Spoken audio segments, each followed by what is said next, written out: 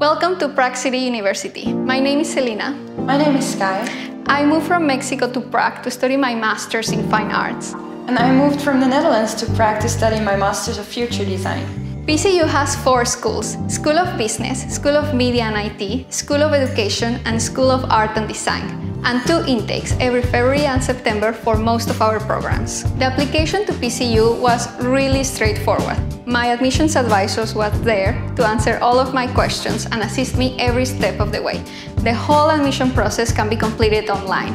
When you are ready to apply, let the admissions team know and they will send you your application to complete. There you will upload all your documents, which are a confirmation of completed education, such as a high school diploma or a bachelor's degree, an English certificate, such as IELTS, TOEFL or Duolingo, a letter of motivation, portfolio if you're going to study an arts or design program, and a CV and recommendation letters if you're going to study a master's level. The final step was a final interview with the program leader, which was a great opportunity to gain further insight into my program and to meet them before enrolling.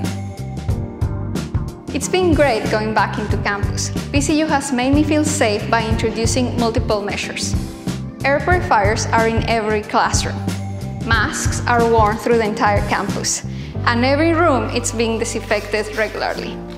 Staff and students have to present proof of vaccination or of negative test before entering the campus. At reception, you can also find masks or tests if you need them.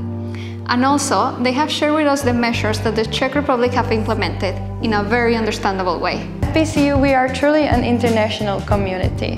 So wherever you are from, you will feel at home with us.